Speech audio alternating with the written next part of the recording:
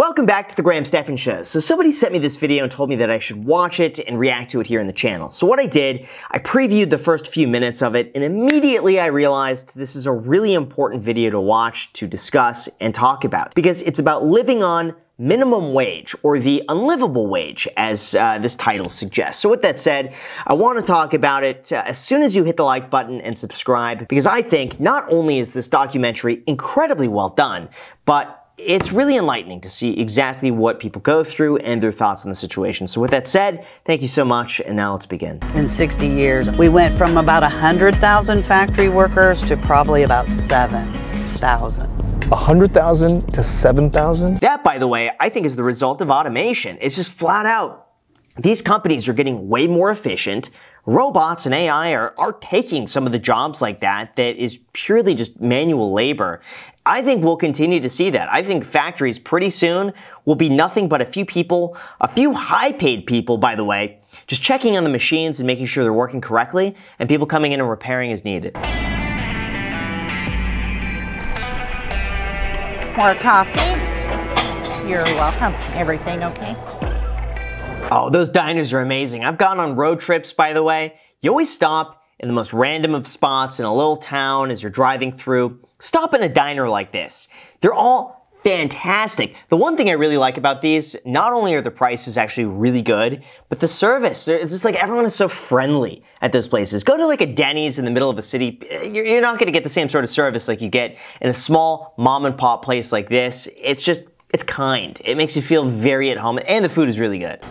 I can't get over how cheap everything is here. I know.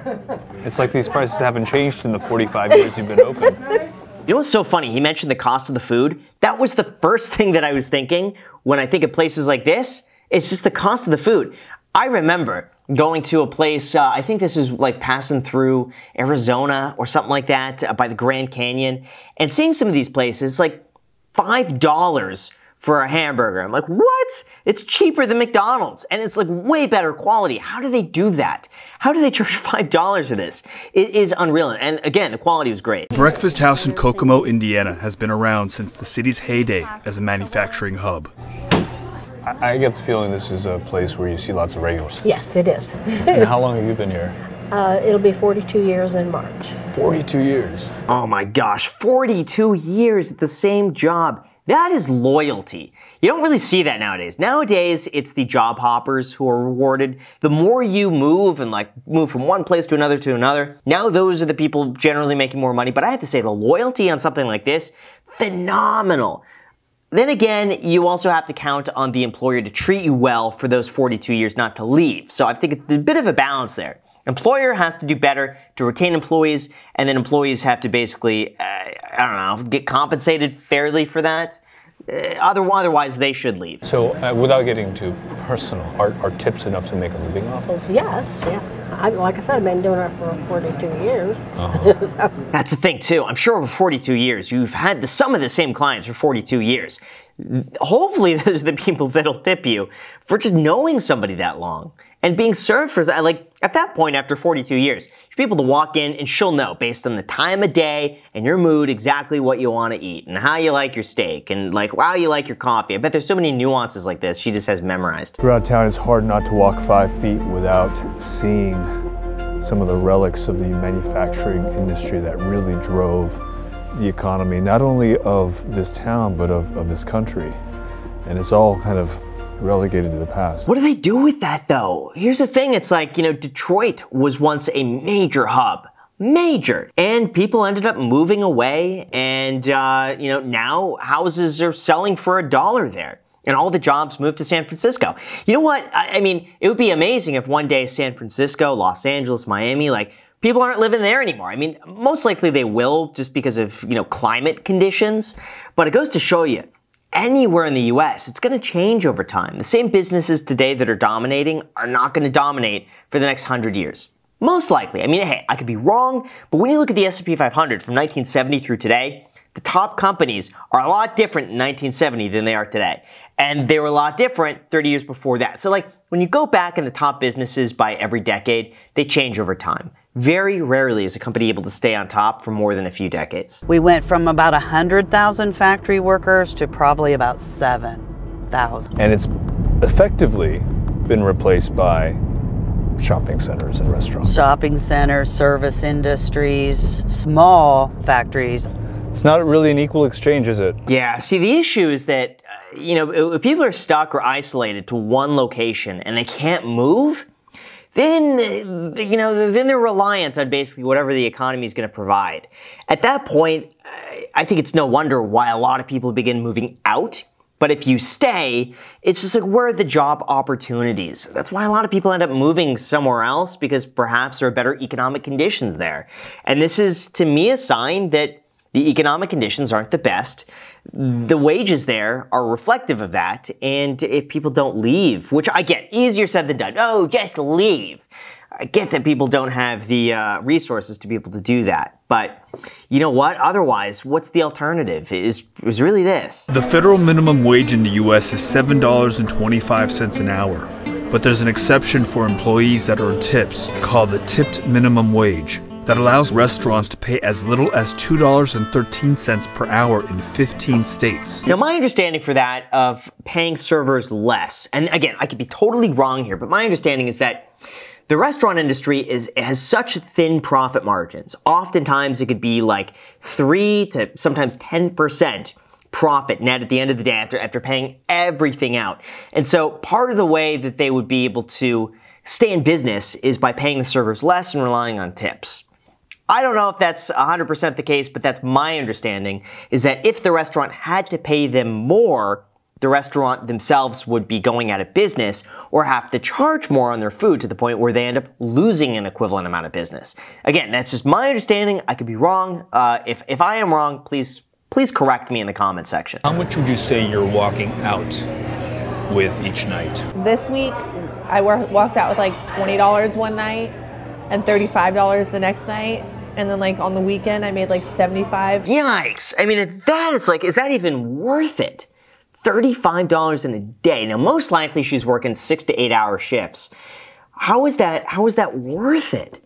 It would be, it would be hard to stay employed, uh, or have the motivation to keep doing that if that's what the pay is. And you know, I know it's easier said than done and say, oh, you know, leave and find another another job because you know sh- she has to make that minimum wage. But part of me wonders is like if if unemployment will cover that, if unemployment might be more than what she's making right now. Even if people are tipping the 20% that is standard for great service, most servers are tipping out 3 to 5% of that to bussers, hosts, and bartenders. What if I leave you nothing? What happens? Then we have to pay that tip out whether you give us money or not. What? That seems like that should be illegal. Like, tack it onto the bill then. Why put that, that responsibility should not be on the server. If she's responsible for paying out minimum 3% on every order, charge it on the bill. Why should that come out of her pocket to pay the bussers, the bartender? That upsets me. That should be on the owner or just on people like, hey, if we don't get a tip, none of us give a tip. That should not be coming out of her pocket. So, so like, say your bill is $100 and yeah. I have to tip out 5% and you don't tip me at all, I'm paying $5 to wait on you. Does that happen? I would say it probably happens at least once a shift. Come on. I, again, I don't get how that's legal. That to me seems like some shady stuff there. I, I don't think there's a law that requires that. I would be shocked. Maybe I'm wrong, okay? But that to me is ridiculous ridiculous. One in 11 American workers currently works in restaurants.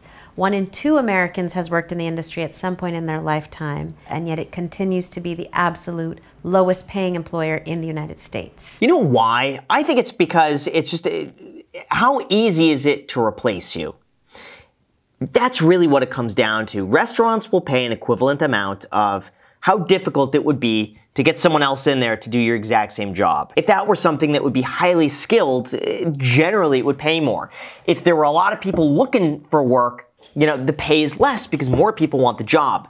A lot of times I, I tend to believe the pay is, is a reflection on simply that. It's just supply and demand, like almost any other industry. When the idea came to the States, the restaurant lobby demanded the right to hire newly freed slaves, mostly black women, not pay them anything and have them live entirely on this new idea that had just come from Europe called a tip. That's very interesting. See, I'm learning a lot from going through this. That's a point I had no idea exists. And it's also interesting that in Europe, it's like, you know, we were in Croatia. It's like, you, don't, you don't tip there. It's so odd. When you get the bill, there's nothing there for tips. It's just the bill is the bill.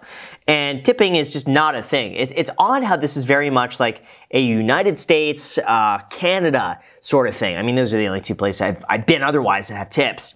But it's interesting that this is very much to the US, but other countries don't have this. You can work your butt off and give them the best service they could have ever hoped for that night. And if they feel like only giving you a $5 tip on a $50 bill, then that's all they're going to give you. You can't go back to them and be like, I deserve more. Yeah, that's the thing. It's it's really if it's optional and up to the person who's tipping to pay, you're going to get some bad tippers. That's just the reality of it. Part of me thinks though, shouldn't there be like a minimum payout at the end of the at the end of the week or something like that where it's like, okay, you know what? We'll pay you the base of $2.13 an hour. But if you make in total, including tips less than $500 in the week, will make up the difference. So that that way you get no matter what, even if you get zero tips or like a million dollars in tips, you'll you'll make at least the minimum the 500 bucks. Like they, they should have something like that. Where that way people aren't making less than minimum wage on tips. Maybe we're going hungry this month. Mm-hmm. Maybe we're eating less. Like is that is that something you have to think about? Mm-hmm. So food is like the last thing that you're The last for. thing I think of because it's whatever we have left will go towards it. That includes going to food banks. See, I wonder if there's any remote teleworking jobs out there that she would be able to do from home that pay more than $7.50 an hour. Now, I've seen, just anecdotally, go online, you see a lot of remote, like call center jobs paying $12, $13 an hour that are based here in the United States. Or sales jobs that could pay way more than that if she uh, hones her phone skills, if she's good with customer service and might be able to upsell on a product or call warm leads. She could potentially be making like $30, $40 an hour if she's able to close deals like that on the phone. So I think you know, it might be worth looking at other opportunities at that point, especially work from home because she's got kids. We still already spend over $100 every week, and that's going to food banks. Like with two kids, a husband that works, me, You know, I gotta say, they are really on track on this. $100 a week for a family of four for eating every night. What does that come out to be? That's actually just over, what, $13 a day for four people. After I paid my babysitter on Wednesday, I made $10. After I paid her on Thursday, I made $20. Friday, I think I made 60. Saturday, I made about 70. And then Sunday, I made 70. It's interesting. It seems like during the week, there's no point to her working when she's really counting the cost of gas, wear and tear on her car, extra insurance, uh, the cost of time. It's like she's really walking away with maybe like $10 in profit, maybe $15 in profit Monday through Thursday. At that point, I feel like, what's the point of, of working at that? Like, there's got to be something else. There's got to be something else that'll pay more than what you would make otherwise going in Monday through Thursday at the restaurant job. There's, there's got to be. We've seen seven states move away from this system. Now, if you listen to the National Restaurant Association, you might think those seven states have no restaurants. On the contrary, these seven states actually have higher restaurant industry sales per capita. But how much of that, though, is that they're the ones that could afford to pay higher prices because people in those states make a lot more money and therefore are able to spend a lot more money? Like, I have a feeling if that one restaurant that we saw with $3.99 steaks and stuff like that, if they were forced to pay more, I wonder if that place would be in business or not. I think a place in California could probably afford it just because they're denser. But again, maybe that's just, I'm trying to think outside the box. I'm trying to find a way where maybe there's some reasoning there, or maybe there's not, okay? There's, there's a chance the companies are just greedy. But I'm trying to think, okay, is there, is there something else here that we are missing? Maybe. I don't know. It really is terrible that you have to rely on other people essentially to for your livelihood, your bills, your the clothes on your children's back. Like that's it's crazy. A lot of things that are always, no matter what you do, are outside of your control. Like even me as a real estate agent, like my entire reliance was on the clients of whether or not they decide to work with me. And in a way, like I'd make zero dollars unless I got a sale or, you know, got a client, a referral, did a lease, you know, some sort like that. You're always relying on somebody else. But, you know, instead you should really focus on just what is in your control right now today. And that is where you spend your time, uh, if there's something you could do to move upwards, maybe uh, some other opportunity that's out there, uh, because otherwise the alternative is is just sticking with it. And if you're unhappy with it, you know, I, I get again easier said than done, but if there's anything that's in your control, it's how you spend your time and, and, what you're doing with that time. And I just refuse to believe that there can't be upward mobility somewhere for the people who really want to change their lives. And, and that's always what I like to believe because otherwise you're just at the whims of, you know, whatever your boss says. I like to believe that there is something more than that. So that's just been my experience.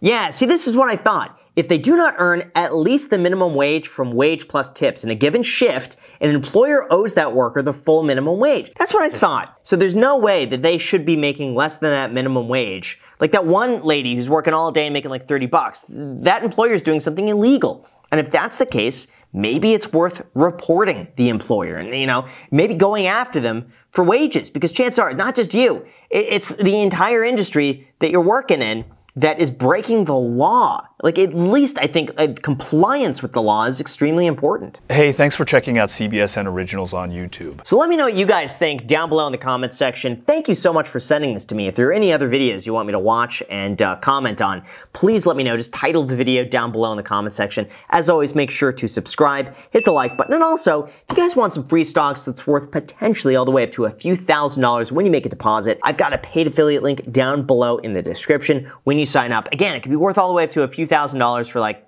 five minutes worth of work. So let me know what you think. Let me know what stocks you get. Thank you so much for watching, and until next time.